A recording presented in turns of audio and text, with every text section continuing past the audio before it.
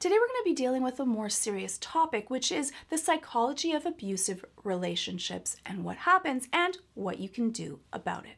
I have a really hard time the way that everyone treats Angel, and I think that people undermine Angel and don't really appreciate all of the wonderful traits that Angel has. And I'll be doing a video specifically on that and how I think that Angel is one of the more deep characters on the show that does not get credit for it. What the hell am I then? You're an important part of our family here, Angel, but you, um... Constantly make us look bad. I've literally never once tried to improve. It's just nice to have someone interested for once. You can see how that really hurts Angel, that even here with his friends, they don't truly see him. Or, I'll say more aptly, he doesn't believe they see him. Wow, Pentious, at this rate, you'll be redeemed in no time. I'm going to bed. I am so proud of you, Sir Pentious. That was amazing. Thank that you. beautiful Thank work you. today. You like me. You really like me. When you feel hurt by someone else's comment, especially when they didn't mean to hurt you, you can see that this comment of someone else being proud and recognizing someone else's performance when you did the same thing can be really hurtful. And when you feel a lot of hurt from a comment that was not intended, that often links to a wound, that this is something that you hope and want for yourself. And so that's what Angel wants to be seen and recognized for who he is instead of who he puts on or the way that he looks. They both did the play together, and Sir Pentious was the only one that was really noticed for it. For Charlie, Sir Pentious is the one that she's trying to rehabilitate, but that kind of means that Angel is forgotten in this, or at least Angel believes he's forgotten in it. Angel, baby, come home. It's not the same without you here. I miss you. Angel, you. If you don't come home, you will be greasy truckers for the next year. Hey, amorcito. I didn't mean to yell, but you know how crazy you make me. That is really common in abusive relationships. This off and on, really, really kind, love bombing someone and then hurtful, knocking them back down, so that the recipient is never feeling safe in a secure environment, which causes them to want to perform more because they want that dopamine hit from someone that really cares and loves them. And also it keeps them on the toes that they're trying to do more and more each time because they think that if they do more, this person will be happy. Hey, Angie, about earlier. Kill your whole family. Work's really stressful. Little sucking piece of And this often happens that when you're down, that's when you're going to return. When the people that you care about have disappointed you, you might return to that cycle of abuse. Because even though it's abusive, it's the abuse you know. And there's a certain amount of comfort. I hate using that word, but you feel like that's your normal, that's your baseline, what you know. And when we are lost without things, we often return to what we know, even if it isn't pleasant. You actually think you can change? Addict trash like you doesn't change. And it feeds. It feeds our own levels of insecurity and negativity, and it becomes our voice. That's the insidious part of emotional abuse or physical abuse is that the person, the abuser, is often trying to undermine us, trying to make us not feel like we're worthy, that we have value.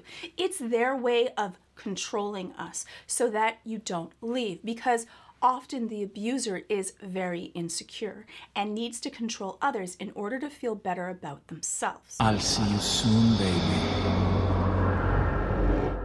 And that's the cycle of abuse. That they're mean to you, you leave, you might leave, and then they're really, really nice and kind and say sweet things, and then it starts all over again. And often the cycle gets worse and worse. More positive, where you get that dopamine high, and more angry and upset, and that can become very dangerous. So much so that your life could be in danger. And that's why it's so insidious because it kind of cycles through and you don't notice that it's getting worse and worse each time. Sorry. Not now, fat nuggets.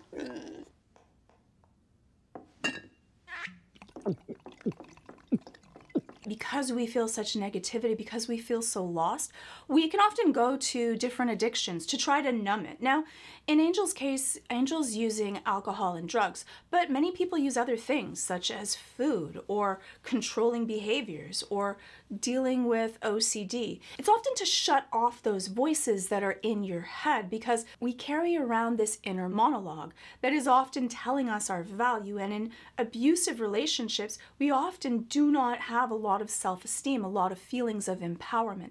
And that negativity is swirling and quite distressing for our inner self. And so it's not just an addiction, it's an addiction that is effective at actually making us feel for a moment better. And for some people, that is all that they're going on. And that's why it's such a multi layered thing. It's not just one issue that we're often dealing with. Kitten's got claws. Meow.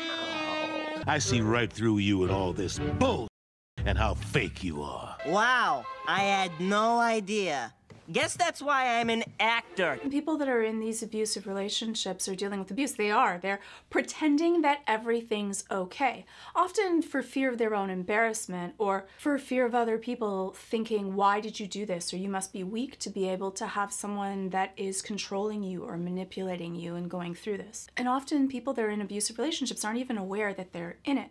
It can be many different forms. It can be emotional abuse, physical abuse, financial abuse, ways of being controlled. Sometimes we don't really want to confront that we're there because then we might have to do something about it, and that can be terrifying. Not just because they might have already gained all kinds of financial control, but it could also be that feeling of abandonment or doing things on your own. And then that negative self talk feeds it because you're saying to yourself, not just they're saying to you, but you're now saying to yourself that I have no value. I can't do this. I'm not going to be able to survive without this person. And then they have that control over you, and then they can do with you as they need. Hold that thought. Hello? Uh, yeah, I'm, I'm. No, no, I just, I. No, I, I'm not. But, uh, yeah. I'll be right there. And you see how Angel is trying to do that appeasement, which doesn't work. But often, when someone gets upset, especially when you're afraid of confrontation, you try to dance more. In your mind, you think that if you are more perfect, if you do things right, they'll appreciate you or see you or not yell or not hurt you emotionally or physically. Unfortunately, it doesn't work because you're someone else's batting board. So if there's something wrong that's happening in their life, they're going to be taking it out on you, no matter what you do. Looks like Val needs me for emergency shoot. Uh-huh, sure. you. I don't give a shit what some drunk bartender thinks of me. So why don't you just crawl back to whatever cave you came from, porn critic? For Angel, it's more than just what he's doing is being demeaned. And when we talk about people that are sex workers, it is one of those areas that even for here in hell, Angel gets treated quite poorly because of what he does, but also because of this front that Angel puts on. Often, people, when they feel maligned by those around them, are testing people, testing their limits, pushing them away because it's so much less hurtful if you push me away because I'm being overt or doing things for shock value. Because it would hurt so much more if you're gonna abandon or leave me because of who I am. And so that's another one of the reasons that Angel has this fake demeanor, over the top demeanor. It's his way of testing people, and it just hurts less that they might abandon him because he believes that they will abandon him, but at least it's going to be because he's pushing them away himself. It's the rock that he threw at himself instead of the rock that others are throwing at him. Kitten's got claws. Meow. And you! Don't get me started. I see right through you and all this bull. And I think that it's really disconcerting for Angel that Husk sees through this fallacy, this fake outer exterior. When you're trying to fake that everything is okay and someone can see through you, it can feel really disconcerting. It makes you feel very insecure because, in order for you to feel okay, you need for everyone else to pretend that it's okay also. But that feeds the lie. And allows things to stay at the status quo. So it's also a dangerous game because some people will believe you and you may not get the help that you need either. Some people enable, but for some people, they are feeding off of the fact that you don't want them to feel that shame or embarrassment or feel the worst, feel sorry for you or judge you for it or look at you as weak. All of those questions you might have inside of your head of who you are. You don't want other people to believe them either. Often that fear of judgment from others is what keeps us quiet and living this lie. Action! Oh no! So many burglars! Whatever shall I do? And so the question of the amount of sex workers that have gone through emotional or traumatic experience, it's actually quite high, especially if they've been abused, learning that their body is one of their commodities. Now, that is not always the case, but it is much higher for those that are in sexually natured jobs at a much higher rate than the population at large. So there is definitely a link, especially to childhood trauma and abuse, to then using that as a commodity later. So this is something for Angel that probably this did not just start with Val. This might have started much earlier and that would be quite common. Having therapy for people that have gone through trauma is so much more important because there's nothing wrong with choosing to go into a sexually related job, but to go into it because of a wound or a hurt, we shouldn't be making any choices because of a hurt or a wound. It should be choices that we make because it's the best choice for us. In the ever-loving are you doing here? I'm here to get you some time off for the hotel. Now, where's your boss? Oh, no, no, no, no, no, no, no, no. Angel doesn't fear things for himself, but he definitely fears having Charlie in this place.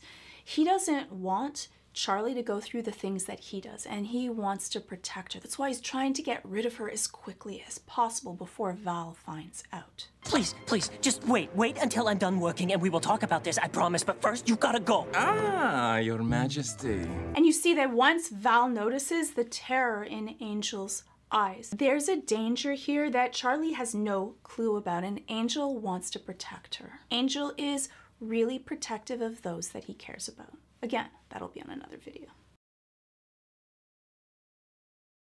Angel, can I see you in your dressing room for a moment? Val, I didn't know that. Ah. Val, I. You really think you can have Lucifer's little fight battles? And that's the thing with abusers is they are often exceptionally insecure. They need to control other people in order to feel good with themselves and they'll do whatever they can to regain that control. Often that means pushing others away from the person that they want to have and making them feel that they need them to survive financially, emotionally, and physically. And they can often get really angry and irate when they feel like they're losing control. Uh, Val, please, I'm sorry. You bring her here to protect you, to And they don't care, right? When they're in that rage, especially because a lot of people that are abusers are often narcissistic or carry a whole bunch of narcissistic traits. So even though Angel is trying to plead, trying to make better, trying to stem the anger, it doesn't matter. They feel like they've been disrespected. They feel like they've been humiliated, and especially when it happens in front of others because they need that affirmation for others to feel good about themselves because inside of them, the abusers don't. They feel like they're not good enough. They feel like they're insecure. And so the only way that they can feel secure is to control those around them because inside they believe that if they didn't have this control, people would leave them. Now, does that mean that these abusers don't have any choice or control? No, they could choose to get help or do things better, especially since often they've also gone through usually abuse themselves. It's often hard because those that lean more towards narcissism often are not that aware that they have the issue. They really keep on telling themselves that this is everyone else's fault and if you just did what I told you or wanted to, I wouldn't have to get angry. You're making me do this. Often people don't reach a feeling of self awareness on their own, and so the cycle continues. To f with me?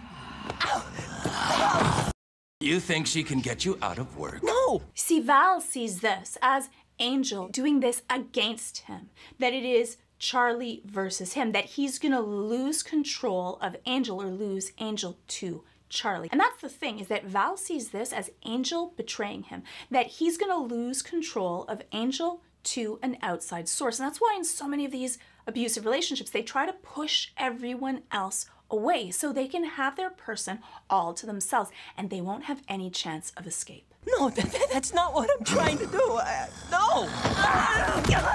And they often have this fear of being mocked, this fear of looking like they are weak or being humiliated by others. Again, that feeds their own negative self talk and what feeds this abusive cycle. You know she can't do anything. I own you. Or have you forgotten that? People that have been in abusive relationships, and often people think, well, you must be weak that you would let someone do this. And it's completely untrue. True, it's often insidious. It's often something that starts off as something very small and gets worse and worse. It's an emotional start where you feel so loved and cared about. This person puts you on a pedestal, love bombs you, and then slowly starts to peel away at your feelings of self, at your ability to be autonomous. And then we feed off of that need to have them, that dopamine from feeling so cared about and so loved. And it's an off and on relationship where they love you one moment and then don't love you or hard or cruel or abusive to you the next. And that off and on switch creates an addiction like reaction, just like the reaction we have to slot machines inside of our brain. We can be addicted to love and sometimes also addicted to not being treated well. We don't really see it that way at the time, but often in retrospect, looking back, we deserved better, but sometimes we don't feel like we do. And so it can be linked to an inner feeling of low self worth. But it's not even always that case. Sometimes we also can find an affinity because of our own parental relationships where we might have had an absent or a neglectful parent. And because of that, to have someone that every single focus is on us can also feel really good. And that can start to feed it. When I say you say Yes, Valentino. when I say you are 20 guys before lunch, you say Yes, Valentino. And I think it's very interesting to note that for Angel, it was easy to say yes to appease Val with everything that had to do with him. Because often they think that if I just give them what they want, things are going to be okay. They're going to be more calm. And that fear of confrontation, that fear of dealing with that anger, having someone angry at you, can overpower us. when I say you better get that out of my studio, you say uh, I. you say But when it comes to his friends, you can see it's a much more difficult thing. Angel cares more about his friends than he fears Val. And I think that that's one of Angel's really beautiful traits. I think that some people on the show have missed how very protective and caring Angel is because he pretends like everything is glitz and fake, but inside, his friends matter to him very deeply, more than they do for himself. And so, hopefully, I would say to Angel, you need to work on your inner voice and treat yourself the way that you would treat your friends. Look, Val, she just gets involved in everything. I'll, I'll tell her to leave.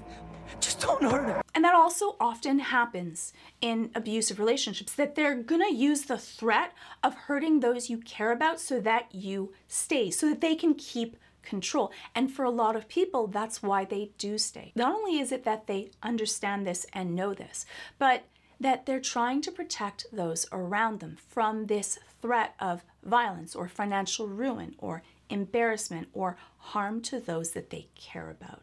And so the abuser will end up using that against you. I don't want to give the feeling that it's okay to be an abuser. I also don't want to lie and say that they haven't also probably gone through all kinds of horror and trauma. That doesn't mean that it's okay because there are a lot of people that have gone through horror and trauma and not abused or hurt others. But people that are abusive are also often the victims of abuse themselves. There's so many more layers to this than black and white, good and bad. We want to take accountability for our own behaviors and do better and be better for all of us. And yes, after the ages of adulthood, your behaviors are now your responsibility. And sometimes we need to take a really hard look at who we are, be able to actually go through concrete steps to make them better. I have killed for less than this attitude you're giving me. You're lucky you make me money. Now you're gonna go get rid of her, and then you're filming all night. And that is Val blaming Angel for his behavior. You did this, you are lucky. You're lucky you have me. No one would treat you the way that I have. You're lucky that I take care of you. And that makes Angel, especially when you're in this mind sphere of abuse, it's almost like being in the fishbowl. You can't see things from the outside. And remember, if you hear something enough times, you start to believe it. You believe it without question. And so, for a lot of cases, Angel probably believes that he deserves this, that he has asked for this, that he isn't worth anything more than this. And that works really well for Val because then Val gets to control him and do with him as he wishes. All right, get your back on set, and we are taking this from the top. What makes you think you can treat him like that? Charlie! I love that the one time we see Charlie's rage, the true amount of her power, is in defense of Angel. Do you see that? Like, I wish that we could play this out and see what she would have done to Val if Angel hadn't stepped in. But of course, Angel, being Angel, wants to protect her and protect her from Val. And the fastest, most easy way is to get rid of her so that she will be safe. Because the last thing that Angel would want would be for Charlie to hurt herself and because of him. Because for him, he doesn't see himself as being worth risking her. Just stop! Angel, what are you talking Charlie, leave! And it's funny because for both Charlie and for Angel, they really will risk their full power to protect the other, to protect the people that they care about, but not for themselves. That's really one of the beautiful traits that they both have, but I would want them to also apply that inward. Get the f out of here and let me finish my work. I. I, I didn't mean to. I, I'm. And I think the beautiful part of that is that Angel knows that Charlie would not leave if Angel didn't really mean it. This is the only way that she would leave is, is that is if he meant it and meant it really strongly and was angry at her for being there. And so you can hear the hurt in Angel's voice to have to say this because he knows he's hurting Charlie, but for him it's for the greater good because that gets her away from Val and keeps her safe. Because the last thing that Angel would want would be for Val to treat her the way that he treats him. It's hard to watch someone in an abusive relationship because they may not leave, they may not be ready, and it's really traumatic to have to go through that and kind of watch on the sidelines. And if you're seeing that or dealing with it, you want to be able to be there emotionally support, but you can't force someone to leave. It becomes really, really difficult. They may choose to go back. And so it causes a whole bunch of secondary trauma. And often the way that we discuss it also so is why do you let them do this? It has a lot of judgmental questions that makes the person feel bad about themselves and perhaps not share that much. And so it's really complex and really difficult for everyone that's involved. But it's okay also to know what your limits are. You cannot carry anyone else over the finish line. We each also have to be responsible for our own actions. So it's a difficult place for Charlie to be. What the actual f- are you doing here? That put something in your drink. I do this all the time. You just let people drug you all the time? You think I ask for it? I don't ask for any of this. I didn't ask to be this way. And for Angel, often that's what happens is that because of all the negativity, because we're taught that we're worth nothing, we can often then express ourselves or treat ourselves as if we are not worth anything more. We almost expect to be abused because that's how we see. It's often a feeling of self sabotage or self hatred that we end up putting out in many different ways. And for Angel, it's drug abuse and allowing people to treat him poorly. But other people can do it through many different ways. I just saw someone self destructing. It seems like you might need a bartender to talk to. Oh, so now you're gonna act like you give a about me?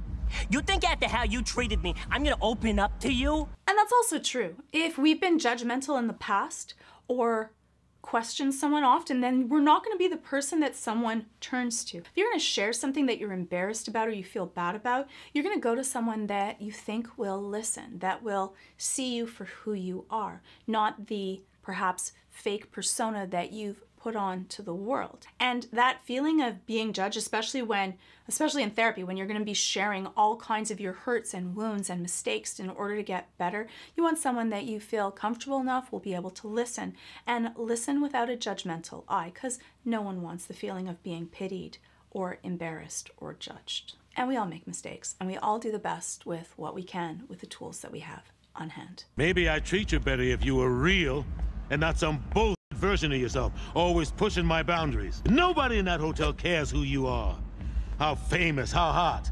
So you might as well just cut the act. Yeah, sometimes we put out this perfect version of who we think we are because we often fear that if someone really knew who we were, they wouldn't accept us. They would throw us away. And I think though for Angel, Angel would rather the fake personas than the person gets thrown away than the person who they really are. So Angel puts out this paper version of himself. And then if you reject him or abandon him, it's not him, deep him, that you're rejecting, which would hurt so much more. It's just this fake plastic persona that even Angel pushes people away with, tries to add shock value. And I think that for Angel, it's also testing people. He's testing if he can trust people constantly by trying to push these boundaries. At least then, if they abandon him, it's because of the boundary that he's pushed. And then he can walk closer to people that he feels is really safe. So it's almost like he's constantly thinking that he's on thin ice and that he'll be left at some point, no matter what. And he doesn't want to feel safe and comfortable because then that's when he's going to be dropped. It's not an act! It's who I need to be. And this. This is my escape. Where I can forget about it all. How much I hate. everything. How much he hates himself. And how much he hates what happens inside of his head. And people can escape with many things a hobby, food, a video game. It doesn't just have to be alcohol, drugs, love, sex. We often use many other things to escape the negative feelings that we have because they hurt so deeply. A place where I can get high and not have to think about how much it hurts. If I can ruin myself enough in the process, I won't be his favorite toy anymore. And that also happens a lot, especially with sexual abuse, that often people try to ruin themselves in different ways in the thought that if they looked less alluring, that the person that is hurting them would leave them alone. So they may gain weight, they may change their appearance, they may do something extreme to the way that they look in hopes that they won't be looked at as a sexual object. It has nothing to do with sex. It has everything to do with power and control. It's all about you feeling weak and them feeling strong in the process. And that's what they're feeding off of. I was an overlord once, you know. It was nice to have that power. But when you're dealing in souls, while also being a gambler, the stakes are pretty high. Sometimes I would say that it's not the time to be able to make it about yourself and tell your own story. But in this case, Husk is doing it so that Angel doesn't feel judged, especially since even Angel said that why would I share with you after you disrespecting me so much? This is Husk sharing his vulnerability so that Angel learns that he's not that different from him. And we're both the same and we've both gone through mistakes. And so I think that it was actually really beautiful of Husk, and I'll go through it in Husk's video on his own, of him sharing and being vulnerable so that Angel knows that we're the same and you can trust me too. I'm here for you. So I know what it's like to regret the choices made. And knowing you can't take it back. If you like this video, you can check out my other compilation videos such as Arcane, Wednesday, my new Cyberpunk. I also have the Jinx Saga, Vox Machina, Season 1, The Boys, Last of Us, all ad-free, sponsor-free, only on Nebula. And that's the whole purpose of Nebula. It's a place where you can get high quality video, where video creators can post early, post extended versions, and post videos that will never work on YouTube. Creators like Legal Eagle, Nando V Movies, Alt Shift X, Medlife Crisis, and so many more. I also have a whole course on how to beat anxiety available on Nebula classes, and in this video I go through all of my tools and techniques in order to defeat, deal with, and cope with anxiety. And you never have to go in to see anyone, so you can check that out as well. They also have exclusive originals like how they adapted Lord of the Rings, The Time When, and so many more. And these are all ad-free, sponsor-free, so if you hate sponsors, well then just sign up with my exclusive link below where you can get an annual plan of Nebula for 40% off, just $2.50 a month, $30 a year. And clicking on that link really does help support my channel. So if you're thinking of supporting my channel at the same time, you might as well. They're all early access, all extended versions, all kinds of courses, original videos from amazing Nebula creators. And by clicking on that link, you support me and all of those other Nebula creators as well. So thank you for your support and I'll see you in the next video. So if you or someone you know is going through abuse, it's much easier if you have someone to help you go through all of the steps. There are many different support groups, there are many different outreach groups that are in your area that you can call to find out what kind of support and help you can get therapeutically, financially, and to be able to give yourself a stable home to be able to move to if you need it. I'll leave some information if you need in the description. It's a really difficult, painful topic to go through because in the end, hurt people hurt people. And it's just so damaging to everyone that's involved. So hopefully you found this video to be useful and gives you some different tools, techniques, and ways of thinking about what Angel and others are going through. And so sometimes we don't recognize it. So hopefully you can take a look at this and see some of the red flags that may be around you to be able to get the heads up of not being in a relationship that is unhealthy or that can end up causing you emotional or physical damage. Because it's really important. We want to keep the people around us that are the most helpful and caring for who we are as a person. And we can stop the cycle of abuse. We need to be able to do better and recognize it, and hopefully recognize it at the beginnings instead of at the ends to it. This damages and destroys families and lives. So hopefully this video was helpful. Hopefully this gives you some hope and some tools and techniques to be able to get that you can let me know your thoughts in the comments below.